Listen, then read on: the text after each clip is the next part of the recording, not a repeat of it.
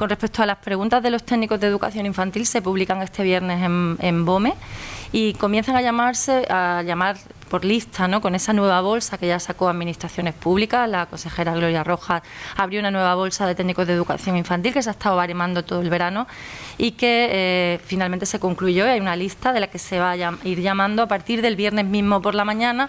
Viernes y lunes eh, durará eh, la llamada de esos 75 técnicos de educación infantil y el martes por la mañana la Consejería de Educación los recibe a las nueve y media de la mañana para distribuirlos por los centros educativos, tal y como también nos indica la, dirección provincial. Es decir, nosotros lo que hacemos es contratar y ordenar esa lista que nos ha dado eh, la dirección provincial, que nos dice además dónde van y cuáles son los requerimientos de los centros educativos a los que deben ir.